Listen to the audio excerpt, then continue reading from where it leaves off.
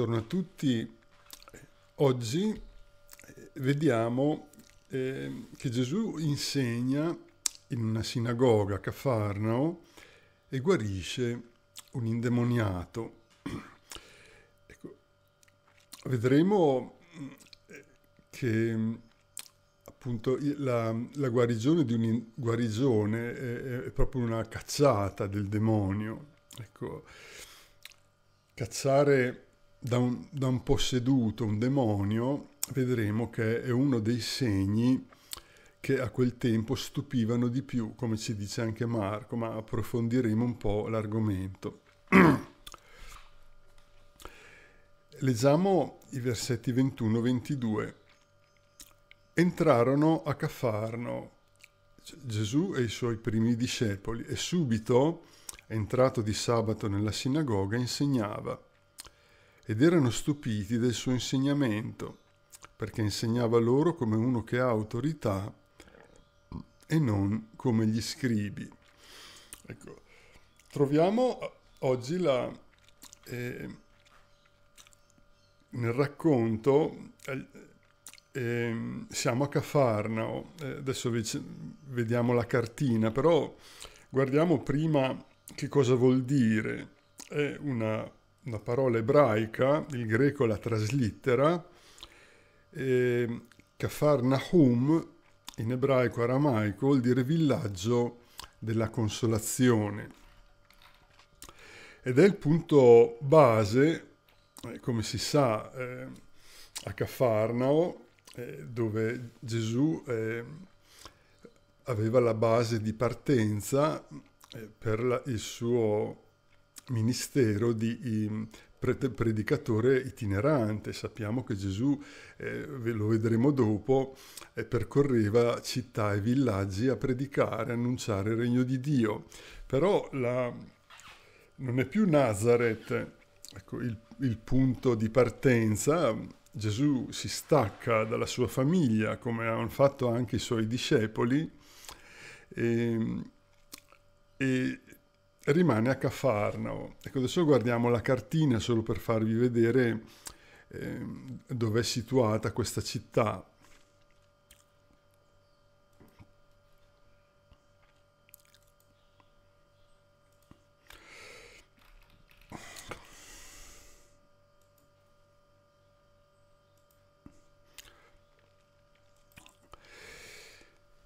Ecco, vedete il puntatore, seguite il mio puntatore, qui c'è Gerusalemme, dove c'era il Tempio e la capitale del regno di Giuda e c'era la Giudea, poi in mezzo c'era la Samaria erano, e, e, poi c'è la Galilea, come vedete qua a nord. Ecco, Caffarno rimane sulla, del, sulla riva del, del, lago di Genezaret, però eh, siamo ancora a, a ovest del Giordano.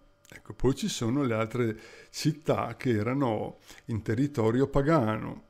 C'era, mm, che, mm, c'era il lago, ecco, e, e qui c'era la Decapoli, eravamo in quella che oggi è la Giordania che era appunto eh, territorio pagano. La Galilea, come sappiamo, era un eh, territorio molto, con un popolo molto eterogeneo, ecco, e, mentre invece la Giudea era proprio il centro eh, dell'ebraismo, del, del giudaismo, ecco, che manteneva l'ortodossia religiosa. Eh, I giudei erano l'ultima come ho detto precedentemente, l'ultima delle tribù che rimane. Quasi tutte le altre sono, erano state deportate in Assiria prima del, della, del dominio dei Caldei, cioè di Babilonia, dove poi stata, sono stati deportati anche i giudei, sono rimasti 70 anni, come sappiamo, poi sono ritornati con l'editto di Ciro. Ecco, questo qualche eh, nozione storica per entrare nell'argomento.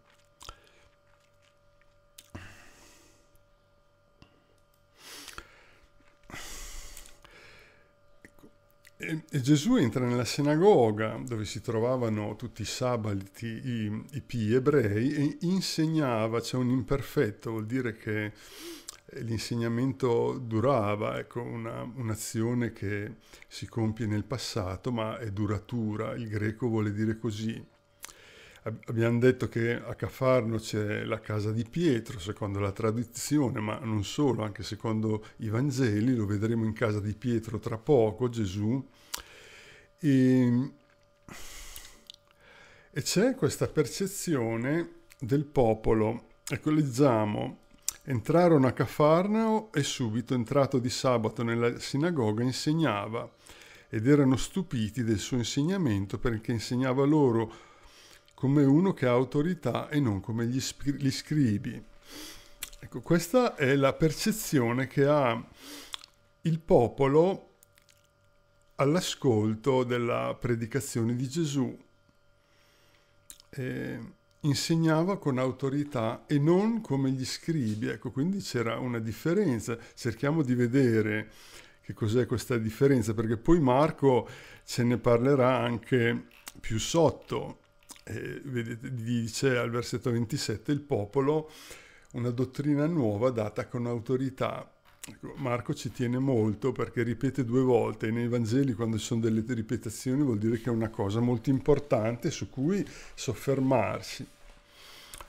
Ecco, io ho provato a, a pensare, ecco, in, beh, innanzitutto Gesù padroneggiava, come sappiamo, eh, la Sacra Scrittura, la sapeva leggere in lingua madre, cioè nell'ebraico biblico, e vediamo anche quando va in sinagoga che apre il rotolo, perché allora c'erano i manoscritti, apre il rotolo di Isaia, trova subito il passo eh, che voleva trovare. Pensate che non c'erano la fine del versetto, non c'erano le vocali, eh, il testo era nudo, solo le consonanti. E, poi il rotolo non aveva appunto i versetti, non aveva i capitoli come abbiamo nelle nostre Bibbie e bisognava eh, conoscerlo in fondo proprio e anche aver capito bene la narrativa di tutto il libro per fare una cosa come faceva Gesù. Ecco, questo è il primo elemento. Però certamente c'è una... l'autorità sulla parola di Dio è propria dell'inviato, dei profeti, ma ancora più del Signore. Perché gli altri, un po' tutti lo facciamo, ecco, anche per usare la parola ecco, a fini propri, ecco, farci un nome, una visibilità, esprimere la nostra, eh, questo capita a tutti, eh, esprimere la nostra sapienza, se la vogliamo chiamare così, ecco. E, oppure come propaganda, come se l'insegnamento esprimesse una capacità personale di cui vantarsi. Ecco, in Gesù non c'erano questi elementi passionali, sicuramente, e, e poi soprattutto perché aveva acquisito eh, il pensiero del padre, l'aveva abbracciato totalmente e lo trasmetteva, per questo che aveva autorità, perché il padre, come ci dice San Giovanni, parlava in lui. E perciò c'era una autorità che veniva direttamente da Dio, perché, come sappiamo dai Vangeli, Gesù e il Padre sono uno, ci dice San Giovanni Evangelista, sono una cosa sola. Ecco, quindi si spiega anche per questo. Eh, andiamo avanti, 23-26. In quel momento vi era nella loro sinagoga un uomo posseduto da uno spirito immondo che gridò dicendo Che c'è tra noi e te, Gesù Nazareno? Sei venuto a rovinarci? Io so chi tu sei, il santo di Dio. Ma Gesù lo sgridò dicendo Taci ed esci da lui. E lo spirito immondo, straziandolo e dando in alte grida, uscì da lui. Ecco, qui c'è questo prodigio, ne, ne parlerò negli spunti, quindi faccio solo degli accenni perché mi interessa ehm, fare vedere appunto che fin da subito eh, la, la lotta, eh, fin da subito vediamo la lotta contro il grande nemico di Dio e nemico dell'uomo, Satana. Prima eh, nel periodo passato nel deserto in digiuno e preghiera e poi qui eh, Gesù manifesta la sua potestà contro questi spiriti immondi, che sono i demoni. E c'era questo posseduto appunto nella sinagoga, stava lì, non sappiamo perché, ecco, e, che grida. Ecco, in questo caso, questo ce lo dicono gli esorcisti, non è tanto l'uomo che grida, l'uomo posseduto, ma è lo spirito maligno che si esprime attraverso la bocca eh, dell'uomo posseduto. Quindi sono i demoni che parlano direttamente eh, con Gesù attraverso un agente umano che è il posseduto. E gli dicono questa frase mh, mm, che mm, Marco riporta letteralmente, vi farò vedere adesso, che c'è tra noi e te Gesù Nazareno, sei venuto a rovinarci, io so chi tu sei, il santo di Dio. Ecco, ehm, Altri evangelisti nel passo parallelo eh, dicono sei venuto a rovinarci, poi dicono anche prima del tempo. E questo dovrò spiegarlo dopo, che è molto importante. Lo, spo- lo spiegherò negli spunti. Ecco, e, ad esempio in Matteo 8, 29. E, e Gesù lo ammutolisce gli dice taci. Intanto questa formula vi ho detto che è una formula ebraica. Il greco è preso in prestito in questo, in, in questo caso. E guardiamo, guardiamo la, la, nota, vedete qua, è una rema, è l'espressione semitica pone una domanda retorica, come dire, che c'è tra noi e te? Retorica vuol dire che la risposta è implicita ed è non, non, abbiamo niente in comune. Ecco, vuol dire così. Non abbiamo nulla da spartire, vuol dire. E vedete qua il corrispondente ebraico di, questa, di questo modo di dire, di questa frase idiomatica, e poi anche la vediamo nell'aramaico. La vedete qua. E, è per questo che il demonio dice che c'è tra noi e te, come dice, siamo nemici acerrimi. E i, i demoni lo sapevano bene, che dal loro punto di vista Gesù era a questo punto il Messia, il Santo di Dio e anche il, il loro nemico giurato e, e, Gesù in questo caso con la parola ecco, lo caccia via subito e gli dice taci. Ecco, qui c'è un'espressione, io ho tradotto come tante altre versioni, però ho pensato che è meglio fare una breve nota per far capire cosa vuol dire. E, vabbè, qui c'è la forma verbale, questo è il verbo e questo è il sostantivo della stessa radice del verbo. Fimos, del, dal verbo fimo, vuol dire museruola e sarebbe...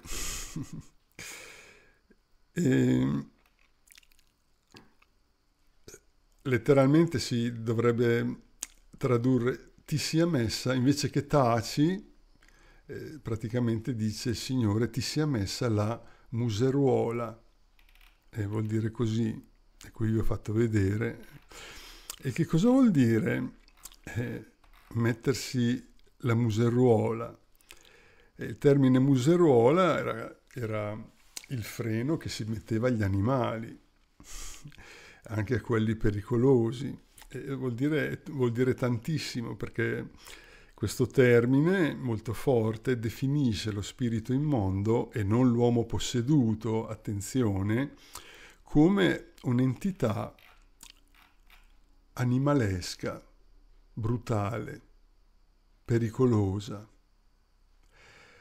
L'indemoniato è l'agente di colui che lo domina completamente, cioè il demonio, parlando anche in lui. Ecco. E anche non ci parla del nome dell'uomo posseduto, ci dice eh, che in spirito immondo vuol dire che era posseduto praticamente dalla testa ai piedi e lo spirito immondo indica un'entità perversa nel pensiero, nelle azioni. Immondo è un termine religioso per gli ebrei che indica tutto quello che è abominevole, immondo, ecco, che non si poteva neanche toccare. Ecco. Allora lo spirito immondo, mm, straziandolo e dando in alte grida, uscì da lui. Ecco. E intanto abbiamo visto che Gesù domina con la sua sola parola lo spirito immondo e,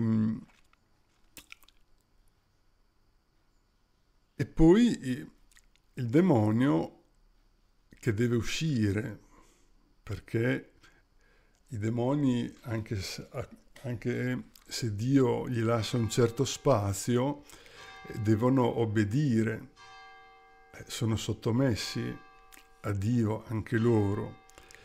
Però qui vedete che il demonio strazia eh, eh, dando alte grida, qui il demonio eh, che grida esce da lui. In altri Vangeli dicono, dicono lasciandolo morto. Ecco, quindi di questo ne, ne, parleremo un po' negli spunti. Ecco, leggiamo l'ultimo passaggio, eh, 27-28 tutti furono presi da, da stupore, tanto che si chiedevano a vicenda dicendo chi è mai questo? Una dottrina nuova data con autorità, comanda agli spiriti immondi e gli obbediscono. E subito la sua fama uscì dovunque, in tutta la regione della Galilea. Il popolo viene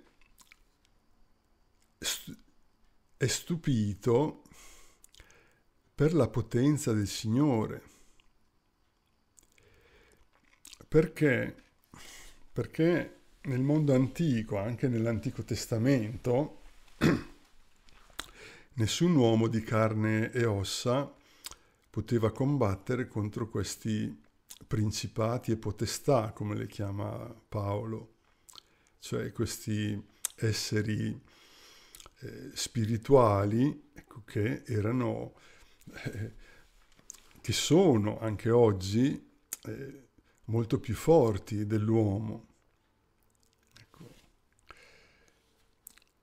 nel paganesimo, ecco, tutto quello che era sovrannaturale eh, faceva paura, sia che fosse positivo o negativo. Nel paganesimo poi non c'era la possibilità di fare discernimento tra un fatto sovrannaturale positivo o negativo, se veniva da Dio o da Satana. Queste cose sovrannaturali possono venire solo da due poli, non ci sono altre, altre energie, come dicono tanti. O è Dio che agisce o è il demonio. E, e poi eh, anche il Talmud, che è un'enciclopedia del, de, del giudaismo, eh, non, mai, non è mai detto che qualcuno nell'antichità abbia potuto cacciare uno spirito immondo da un uomo. Anche se i posseduti ci sono sempre stati e ci sono anche oggi. E quindi capite perché c'è questo stupore del popolo, perché è una cosa nuova che mostra una potenza divina estremamente forte e potente. E Gesù pensate che la esprime solo con le sue parole. La potenza, si deve dire qua, della sua parola. E perciò il, il, il popolo si dice, ma che è mai questo? E non riescono a capacitarsi. Prima parlano della dottrina, di, come abbiamo detto sopra, vedete che Marco ripete perché è una cosa importante. Gesù predicava non come gli altri, ci ha detto Marco. Una dottrina nuova data con autorità. Com- comanda agli spiriti immondi e gli obbediscono. Quindi c'è uno stupore, tanto che al versetto 28, nell'ultimo versetto del nostro racconto, eh, dice che la sua fama... Eh, Marco dice che uscì dovunque in tutta la regione della, della Galilea, perché eh, queste cose non si erano mai viste in Israele. E poi ne parleremo negli spunti, comunque anche oggi gli esorcisti cacciano gli spiriti immondi nel nome di Gesù, non potrebbero farlo loro però nel nome di Gesù è possibile. E questo lo sanno anche quelli fuori dalla Chiesa. Eh? Eh, poi vabbè c'è tanta filmografia, tante cose, però eh, la Chiesa ha il potere nel nome di Gesù eh, di cacciare il demonio da questi uomini posseduti. Ecco, riprendo il concetto, come ho detto spiegherò un po' di più nel, negli spunti questo, questo tema ecco, di, di, cui si parla tanto, ma io cerco di, eh, di spiegarlo attraverso la Bibbia, che è il modo secondo me più sicuro. Ecco abbiamo visto appunto che c'è qualcosa di straordinario che non si era mai visto in Israele. Perché il Nuovo Testamento ci dice che tutto il mondo è sotto il potere di Satana. Dicono così gli Apostoli.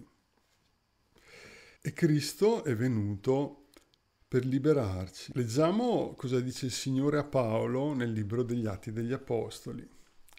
Gli dice, ti mando dai pagani ad aprire loro gli occhi perché passino dalle tenebre alla luce e dal potere di Satana a Dio. Atti 26, 17, 18. Ecco, vedete che la predicazione è, vuol dire aprire gli occhi agli uomini di, e, e spiegargli, ecco, se lo accettano, che tutta l'umanità è sotto il potere di Satana.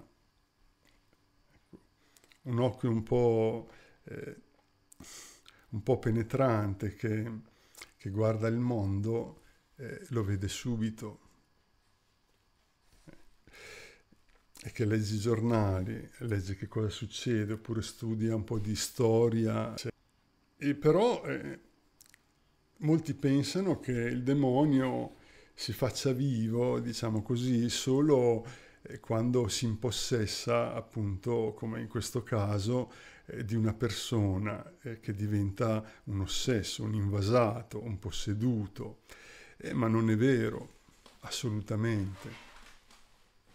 Il diavolo è sempre al lavoro. Eh, ad esempio, ci può eh, sedurre al male in modo ordinario e in, modo straordinario appunto come una possessione, ma eh, in modo ordinario lo fa tutti i giorni. Le tentazioni quotidiane che provengono dal pensiero soprattutto, ecco poi sta a noi se metterlo in pratica o rifiutarlo come dovremmo fare. Sono le, le, le tentazioni quotidiane. Satana seduce facendo leva sulla concupiscenza e, e sulle passioni. Ecco, San Giacomo eh, dice così, la concupiscenza vuol dire la brama di avere qualcosa, che possono essere tantissime cose, non so, il denaro, l'avidità, la brama di potere, la lussuria, gli averi, la fama, eh, deriva dalla concupiscenza che vuol dire bramare qualcosa. Si possono bramare delle cose positive, ma eh, quasi sempre eh, bramiamo delle cose negative che poi ci portano alla rovina e ci caricano di un cumulo di peccati. E, e quindi eh, San Giacomo dice nessuno quando è tentato dica sono tentato da Dio, perché Dio non può essere tentato dal male e non tenta nessuno al male. Ciascuno piuttosto è tentato dalla propria concupiscenza che lo attrae e lo seduce il diavolo è il grande seduttore. Poi la concupiscenza concepisce e genera il peccato. Il peccato, quando è consumato, quando è messo in atto, produce la morte. Giacomo, capitolo 1, 13-15. Ecco, la concupiscenza viene definita di solito come una passione intemperante, il, con- il contrario della temperanza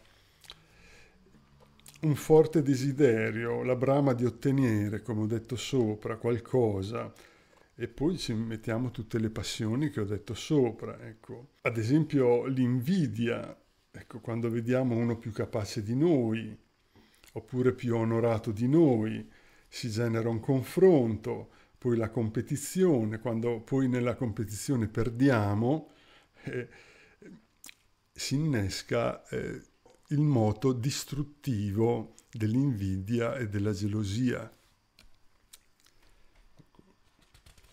Guardate che nella cronaca vediamo benissimo la firma di Satana in certi femminicidi, ad esempio. La donna abbandona il suo compagno e il compagno, eh, succede così, eh, si vendica e il suo amore diventa improvvisamente odio. Com'è possibile? Eppure è così, lo vediamo tutti i giorni. Questa è la gelosia. Eh? E anche l'altro, che lascia il primo, poi va con un'altra persona, anche l'altro è, diventa odiato, anche se non si sono mai conosciuti. Vedete come si innesca una spirale di violenza che molte volte finisce appunto con l'omicidio. Perdi la cosa amata e, e, poi, e poi la distruggi perché sai che non è più tua. E qui c'è la firma del demonio, come in tante altre cose. Ho fatto un esempio, ecco, perché poi il demonio, quando fa leva sulle nostre passioni, è molto forte. Resistere è molto difficile se non c'è una persona esercitata nella, vita, nella vita cristiana, eh, ci cade in queste cose. Poi volevo commentare quella espressione che c'è tra noi e te, Gesù Nazareno. Ecco, altri dicono, e poi dice sei venuto a rovinarci, alcuni, come ho detto, dicono prima del tempo. Eh, perché?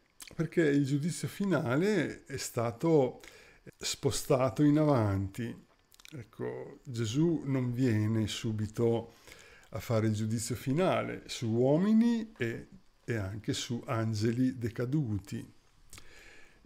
Però, eh, anche se è dilazionato il giudizio finale, è già tutto pronto. il castigo ecco, eh, di questi angeli, di questi spiriti immondi e anche di tutti gli uomini che aderiscono a loro. E lo dice il Signore nel Vangelo di Matteo quando parla del, del giudizio finale, dice via lontano da me maledetti nel fuoco eterno preparato per il diavolo e i suoi angeli. Matteo 25, 41. Sembra paradossale, ma il demonio eh, lavora giorno e notte per distruggere tutto quello che può distruggere, pur sapendo che il suo castigo arriverà inesorabilmente, anche se non sappiamo quando, noi uomini, lo sa solo Dio. E perciò è per questo che i demoni dicono prima del tempo, perché Gesù mostra la sua autorità appunto con, eh, che è un uomo di carne e ossa. Ecco, ho detto prima che non è mai successo al mondo che un uomo di carne ecco, che deve obbedire a, a, alle leggi fisiche del mondo, eh, si mette a combattere contro uno spirito immondo, che però è spirito. Ecco, ontologicamente lo spirito è più potente di tutti gli uomini. Gesù è più forte, ecco ce lo dice al versetto 8. Ecco, e quindi da questo passaggio che ho, che ho trasmesso di Matteo, sappiamo che il Signore è più forte e che ha autorità contro questi spiriti decaduti, immondi, e che l'inferno c'è. Ecco, non se ne parla più, perché se no si è tacciati di essere dei, dei preti da... Me, da, da, era medievale, ecco, adesso non usa più, e invece l'inferno c'è e la Bibbia ce lo dice chiaramente. Qui poi eh, è un passaggio, quello che ho letto, dove Gesù mostra anche una certa collera quando parla dell'inferno e dice via da me maledetti, eh? lui stesso che diceva benedite e non maledite. Ecco qua c'è la collera del Signore. Sappiamo che Dio è lento all'ira e grande nell'amore, però quando l'iniquità raggiunge il colmo scatta la collera di Dio. Ecco, la Bibbia ci dice anche questo. E quindi io ne parlo dell'inferno, perché eh, bisogna parlarne, bisogna avvertire. Siamo tutti messi nella stessa barca con questa funesta prospettiva e dobbiamo tenerne conto. E poi il Signore dice che la scrittura non può essere annullata. Ecco, questa è un'altra conferma. L'ha detto e quello che ha detto non può essere annullato, quindi L'inferno c'è, anzi il fuoco è già preparato, ci dice così. Il demonio è sconfitto, si scatena poi sull'uomo, lo straziava, esce però, essendo stato sconfitto, si sfoga sul povero eh, uomo che era stato posseduto e sfoga tutta la sua rabbia eh, contro, contro gli uomini e questo secondo me è molto, è molto significativo. E, e, e così sarà anche alla fine del mondo. Satana sconfitto e punito si scaglierà sui suoi figli, come ha fatto con questo.